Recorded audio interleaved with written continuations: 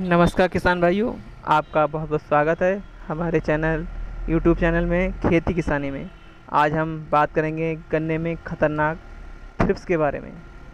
हाँ इस समय ये रोग लगभग सभी प्रकार की गन्ना वैरायटी में लगा हुआ है, चाहे वो कोई सी वैरायटी हो, चाहे वो पुरानी वैरायटी हो या नई वैरायटी हो। इसे किसान पहचान नहीं पाता है और अपने खेत में अन्य अन्य प्रकार की दवाएँ और फंगीसाइड का यूज़ करता है। और अपने खर्चे को बढ़ा रहा है व अपनी फ़सल को बहुत ज़्यादा नुकसान पहुँचा रहा है। तो आज हम बात करते हैं इस इसके बारे में तो इसकी पहचान को देखिए। देखिए किसान भाइयों, इसकी बहुत सी सीधी सी पहचान है कि आप अपने खेत में गन्ने में देखेंगे कि गन्ने की जो गोब की पत्ती है, वो पीली पड़ रही होगी।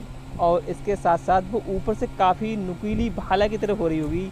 और जब उसे हम खोल कर देखते हैं तो उसमें बहुत बहुत छोटे छोटे कीट काले काले कलर के पाए जाएँगे, जो कि रस चूसने वाले कीड़े हैं। इन्हें ही हम थ्रिप्स बोलते हैं। तो इसकी अगर रोकथाम की बात करते हैं तो हम तो इसमें सबसे बेहतर व सस्ती दवा जो आती है वो थाइमाक्सम प्लस लेमडा का कॉम्बिनेसन आता है, जो बहुत सी कंपनियाँ बनाती हैं। लेकिन इसमें सबसे अच्छी जो कंपनी की दवा ये सीजेंटा की अलीका के। इसे आप अपने खेत में यूज़ करें। अगर इसके अलावा आप अन्य कोई दवा का यूज़ करना चाहते हैं थ्रिप्स के लिए तो आप घाटा कंपनी की पुलिस का प्रयोग कर सकते हैं, या बायर कंपनी की लेसेंट का भी यूज़ कर सकते हैं। तो किसान भाइयों, आप इन दवाओं का यूज़ करें और अपनी फ़सल को भारी नुकसान से बचाएँ।